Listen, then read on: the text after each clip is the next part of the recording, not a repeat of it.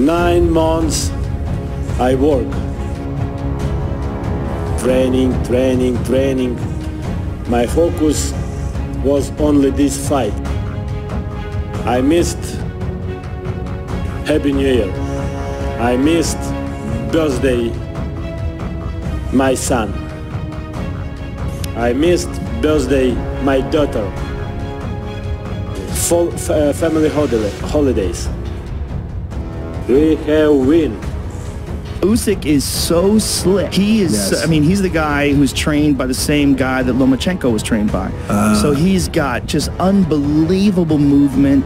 Uh, His angles, the way he boxes, his fucking feints and movement, total next level. The craftiest heavyweight, maybe of all time. Do you agree with Meatball Head Joe Rogan? I don't know about all time, but he is definitely the greatest of this generation. His journey from Olympic gold medalist to defeating top-tier opponents like Anthony Joshua and Tyson Fury showcases his true relentless pursuit of excellence. Hit like if you think he is going to beat Tyson Fury again in the rematch. TV, camera, Tyson Fury, you know, like change. Alien, you know, rabbit, you bitch, light heavy, yeah.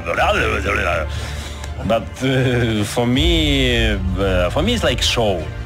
Yeah, I. The father is here.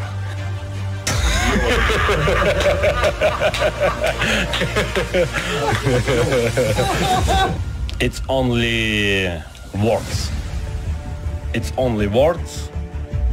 I know what I do. For me, important my preparation, my team, my country. Uh, Tyson, it's uh, number one for press conference. A lot of speak. I can't, I can't know uh, over talk him uh, Tyson.